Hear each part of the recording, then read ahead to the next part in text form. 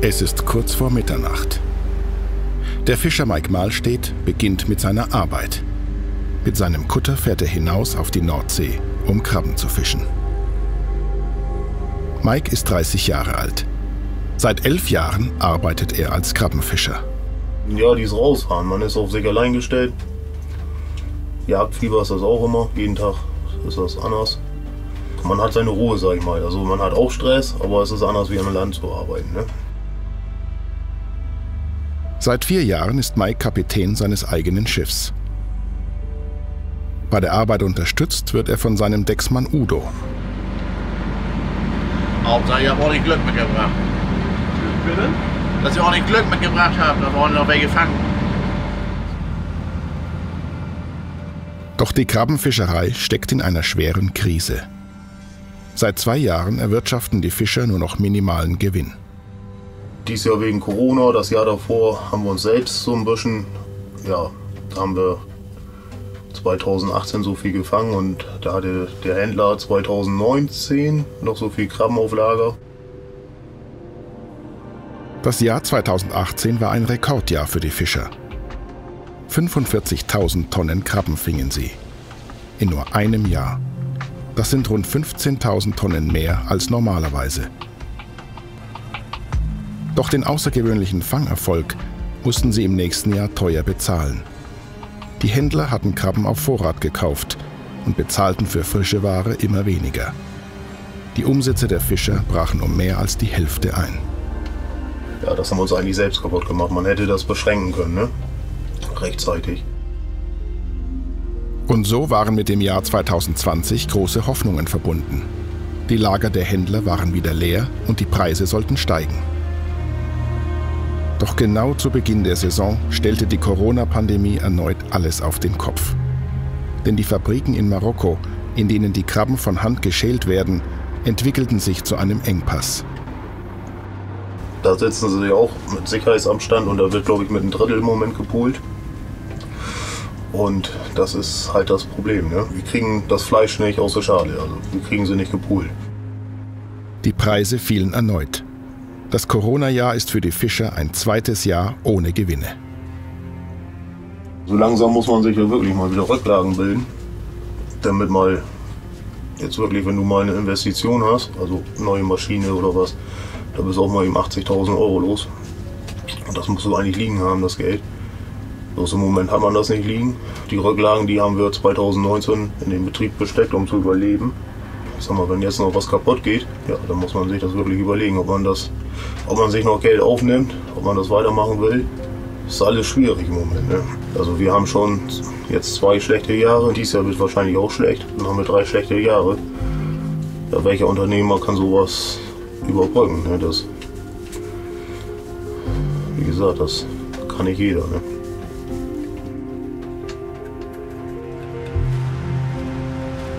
Und so hoffen die Fischer, dass das Jahr 2021 endlich wieder Gewinne bringt.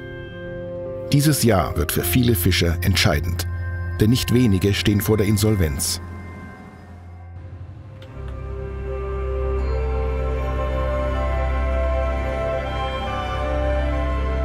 Die Arbeit der Fischer richtet sich vollständig nach den Gezeiten. Denn bei Ebbe gibt es keine Möglichkeit, den Hafen zu erreichen, Erst bei Flut füllt er sich wieder mit Wasser. Die Fischer können ihre Arbeit also erst nach zwölf Stunden beenden.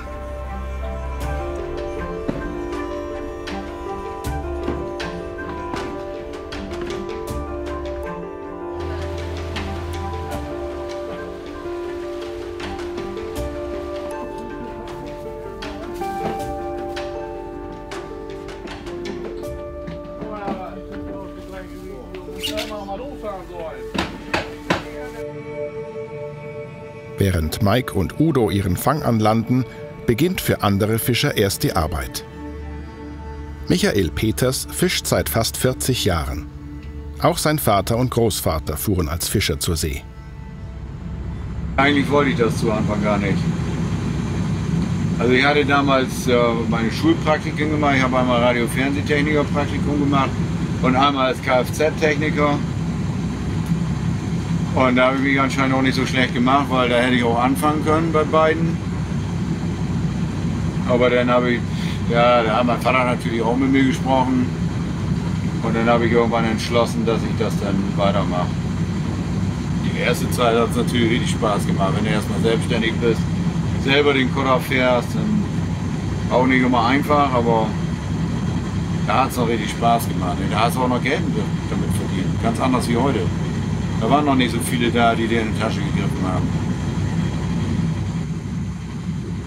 Tatsächlich müssen die Fischer heutzutage weit mehr Auflagen erfüllen als früher. Es gibt viele Vorschriften, die zum einen zur Kontrolle der Fischer dienen, aber auch für ihre Arbeitssicherheit sorgen sollen. Sie verursachen hohe zusätzliche Kosten, die der Fischer selbst tragen muss. Guck mal, alleine Funkgerät hier, Radartransponder, Handfunkgerät, das kostet alles Geld. Dafür das, den Funk mussten wir dann wieder einen Lehrgang machen, mussten wir ein neues Funkerzeugnis machen, obwohl ich ja schon eins hatte. Das ist alles nur so eine, so eine Geldgeschichte. Dann haben wir noch eine E-Pier dazu gekriegt. Das hatten wir früher alles nicht. Früher haben wir zwei Feststoffwesten und zwei Rettungsringe. Und es sind genauso wenig Schiffe gesunken oder so viele Schiffe gesunken wie heute. Alles nur ein Geldgeschäft. Es wäre so, als wenn man einer Kuh eine sechste Zitze anzüchtet, damit man noch mehr melken kann.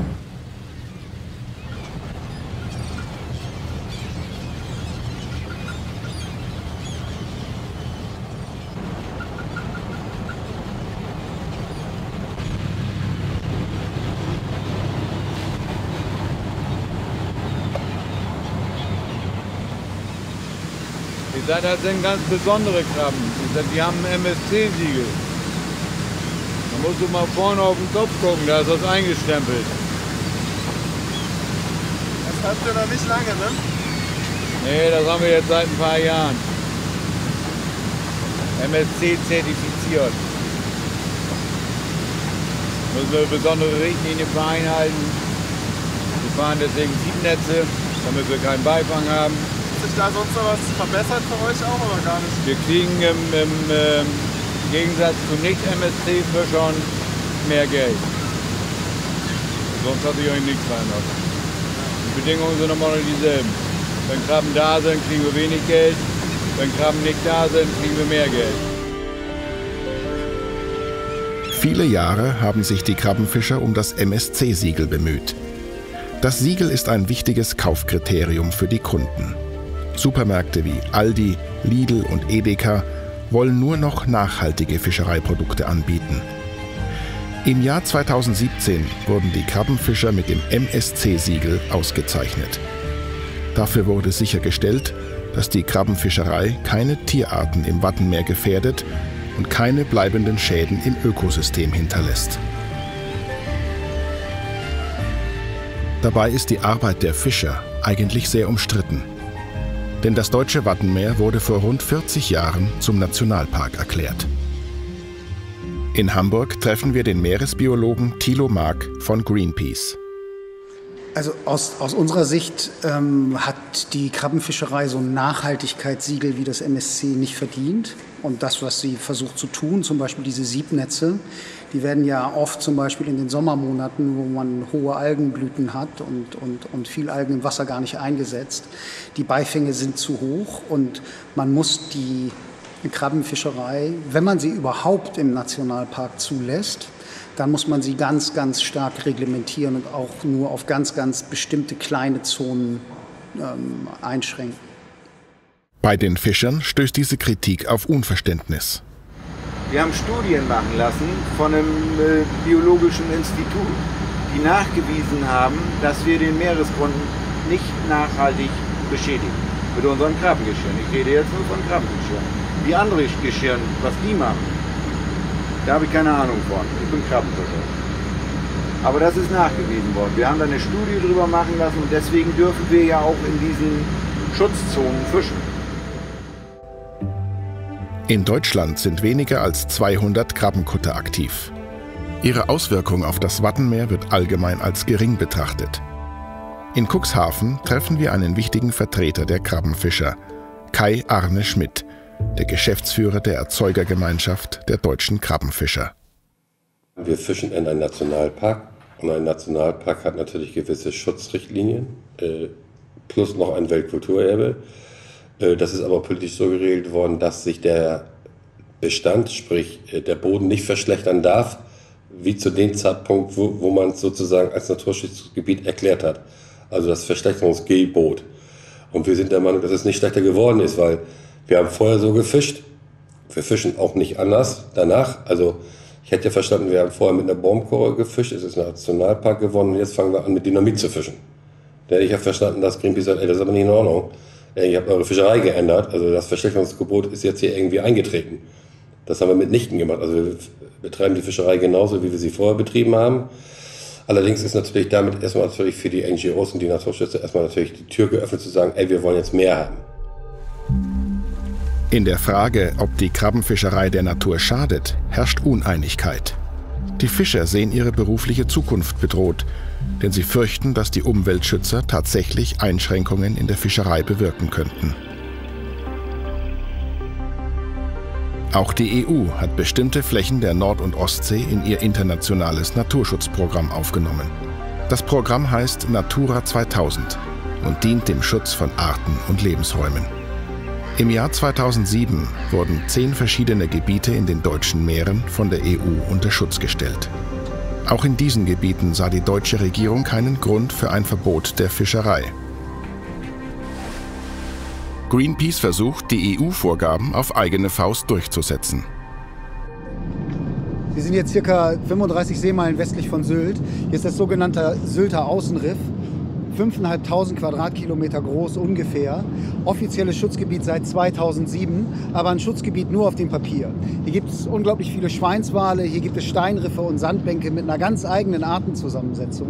Wir sind ähm, von Greenpeace 2008 hierher gekommen, um diesem Gebiet den Schutz zu geben, den es tatsächlich auch verdient. Wir haben in einem Bereich von ca. 150 Quadratkilometern 320 Felsen versenkt, zum Teil bis zu drei Tonnen schwer. Und diese Felsen verhindern die Fischerei hier. Das heißt, wir haben dem Gebiet den Schutz gegeben, den es verdient. Solche Aktionen fanden in den Jahren 2008, 2011 und 2020 statt.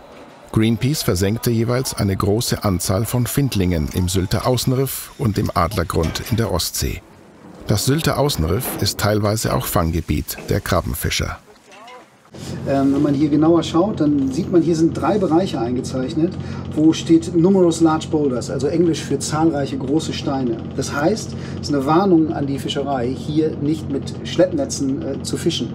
Ähm, und diese, diese, äh, diese Bereiche sind schon länger in die Seekarte eingezeichnet. Und das heißt, hier sind echte Schutzgebiete vor der Fischerei entstanden. Die Greenpeace-Steine funktionieren. Natürlich sind diese Aktionen eher eine Seltenheit. Auch die betroffenen Gebiete sind verhältnismäßig klein. Die Aktion im Sommer 2020 betrifft die Krabbenfischer sogar überhaupt nicht, weil das Gebiet viel zu weit von der Küste entfernt ist. Trotzdem wird dieses Vorgehen von den Krabbenfischern stark kritisiert, weil man die Symbolik dahinter versteht. Wir treffen Hilke Loden, eine Fischereisachverständige der Niedersächsischen Landwirtschaftskammer. Ich finde es eigentlich sehr schade, äh, dass das riesige Potenzial, was die Umweltverbände und die Fischerei zusammen haben. Also die haben ja viel mehr gemeinsam, als, als sie Trennendes haben. Aber es wird nur immer auf das ge geguckt, was, was sie eigentlich trennt. Aber die haben beide ein ureigenes Interesse daran, dass eine intakte Natur äh, da, da ist. Und die Fischer sind ständig draußen. Die können also auch ganz viel äh, Informationen liefern. Doch eine Annäherung scheint weit entfernt. Im Oktober 2020 verkündete nun auch die Bundesregierung, dass jede Form der Fischerei in allen Natura 2000 Gebieten in Zukunft untersagt sein wird. Die Krabbenfischer verlieren dadurch wichtige Fanggebiete. Sie kritisieren, dass man alle Arten der Fischerei gleich behandelt. Ein großes Schleppnetzschiff für Seezungen zum Beispiel hat eine ganz andere Auswirkung auf den Meeresboden als die kleinen und leichten Netze der Krabbenfischer. Und man darf nicht vergessen, dass wir in Deutschland knapp 80 Prozent der Fische, die wir hier sozusagen kaufen, aus Drittländern kommen. 60 Prozent EU-weit. Dann sage ich immer, wenn wir immer davon sprechen, ja, Plastik im Meer, dann wird das südchinesische Meer gezeigt, ist scheiße. Finde ich auch nicht gut, ich bin ja auch ein Burger. Aber nicht hier. Okay? Nicht hier. Und wenn man sagt, die ganzen Weltmeere sind überfischt. Ja, was im Pazifik passiert, was der Chinese treibt, was der Russe treibt. Leute, Hände hoch. Ich bin raus. Wir fischen hier in der Nordsee und wir fischen in der Ostsee.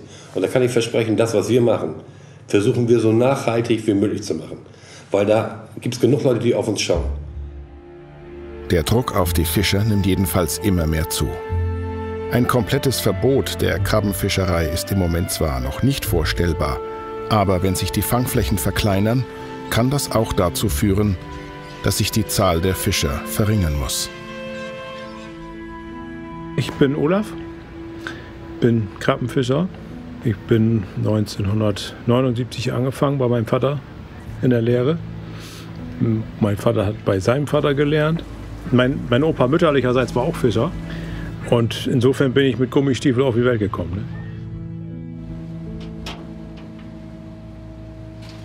Die Sorge der Fischer um ihre Fanggebiete wird durch ein noch größeres Problem in den Schatten gestellt.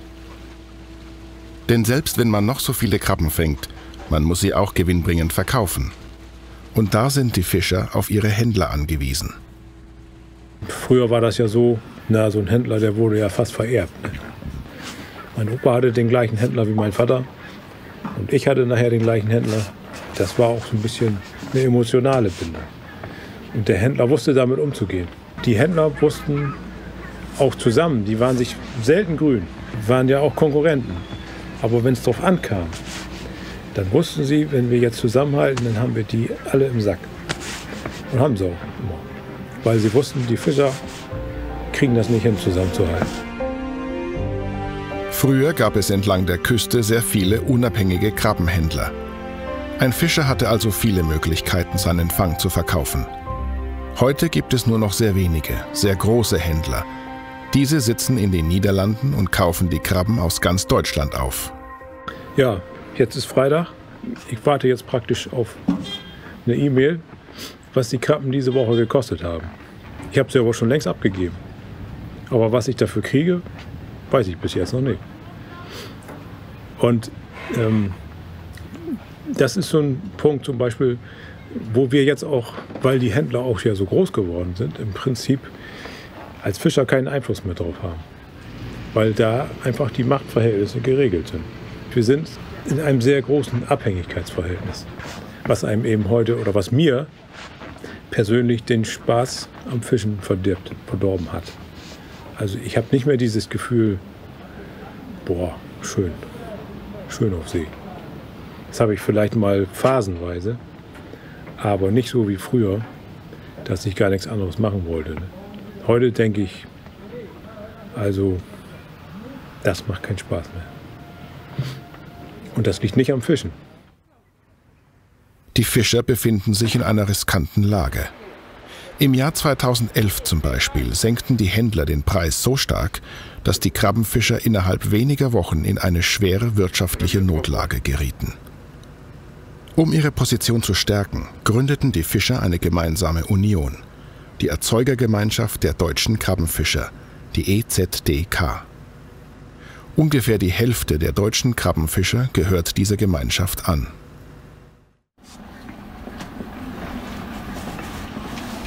Hm. Daten, Fakten, Idee und Ursprung. Da, da steht's. So. Wirtschaftlich wurde die Marktposition der Krabbenfischer durch die Gründung der EZDK deutlich gestärkt, da die Fischer die Klassifizierung ihrer Ware selbst organisieren und die Preise zentral über die EZDK verhandelt werden. Das stimmt definitiv nicht mehr. Wenn es mal jemals gestimmt hat, dann wird hier gar nichts verhandelt, sondern es wird vorgegeben. Richtig. So wie jetzt. Wir kriegen ein Schreiben, der Händler bezahlt so und so viel. Rückwärts. Und jedes Mal fällt's. Da wird nichts verhandelt. Also es ist nicht so, dass wir jetzt irgendwo auftreten können und sagen, nur weil wir jetzt äh, die deutschen Krabbenfischer sind, kriegen wir jetzt drei Euro mehr für unsere Krabben weil der Verbraucher sagt, ah nee, ihr kommt ja aus Cuxhaven, deswegen bezahle ich viel mehr. Äh, das wird es nicht geben. Äh, der, der Markt bestimmt am Ende des Tages den Preis. Der Fischer, wenn er, wenn er Mitspracherecht haben wollte, müsste er seine Krabben ja selber vermarkten. Also er müsste sagen, ich baue mir ein Lager, ich, wenn die Krabben nicht so viel kosten, dann lege ich sie da rein und wenn sie mehr kosten, dann verkaufe ich sie wieder.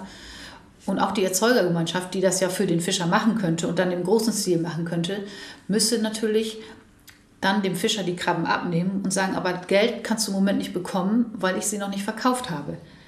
Ich warte jetzt erstmal ab, bis die Preise steigen oder ich verhandle darüber, wie, was wir bekommen können.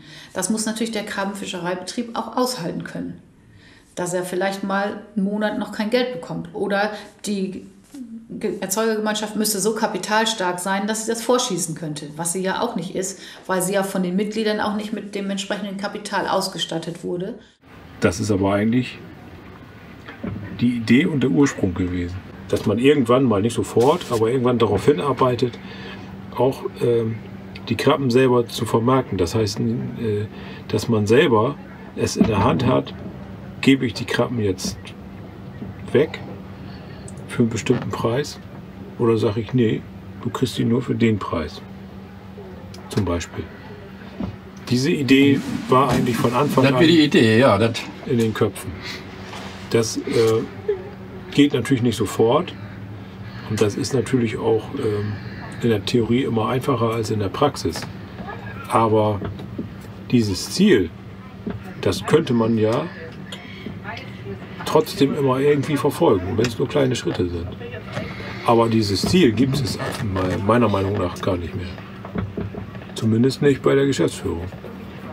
Ich denke, man ist auch ein bisschen zu forsch rangegangen oder mit zu großen Erwartungen, hat zu große Erwartungen geweckt, äh, die, wo von vornherein feststand, wenn 100 Krabbenfischer mit 1000 Euro äh, eine Erzeugerorganisation gründen, dann hat man 100.000 Euro. Ja, was kann man damit? Nicht so richtig viel. Also dieser, dieser Gedanke, dieser Traum, man könnte jetzt was damit bewegen, indem man diese Erzeugergemeinschaft gründet und mal richtig dem Händler Dampf gibt. Der Traum ist platzt. Für mich ist der nicht mehr existent.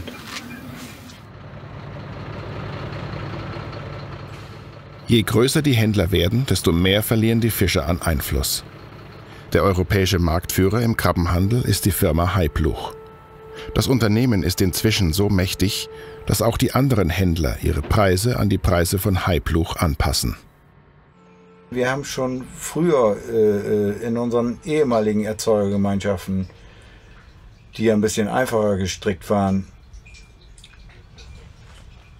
immer nach Ideen gesucht ob es, äh, wenn die Preise schlecht waren, ein Quantum war, also ein Mengenquantum oder, oder, oder.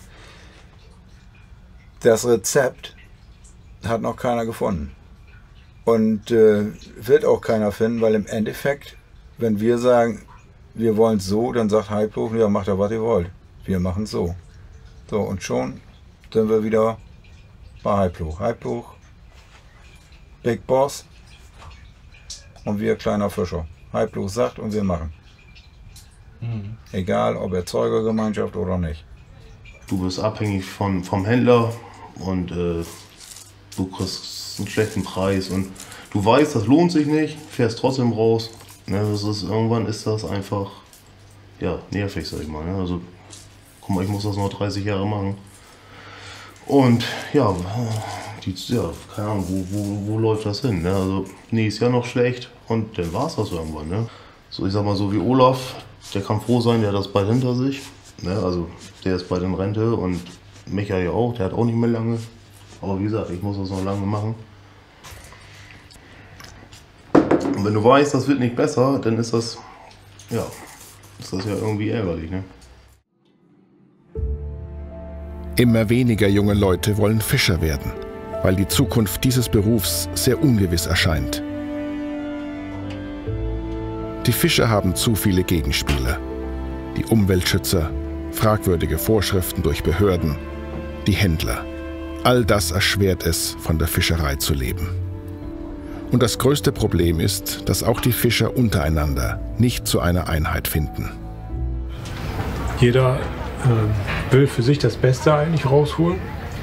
Und wenn man sich zusammenschließt, dann nicht, weil man für den anderen was erreichen will oder für die Allgemeinheit was erreichen will, sondern im Grunde genommen will sich jeder oder viele wollen sich zusammenschließen, damit die Allgemeinheit was für mich erreicht.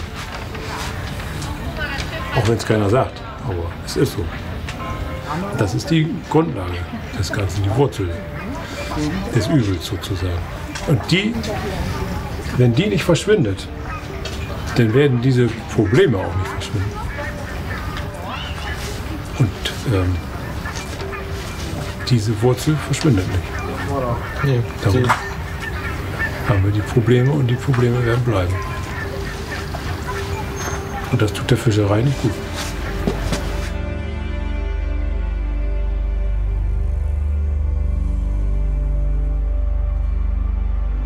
Die Fischer fahren weiterhin fast täglich zur See. Das traditionsreiche Handwerk der Krabbenfischerei wollen sie so lange wie möglich fortführen.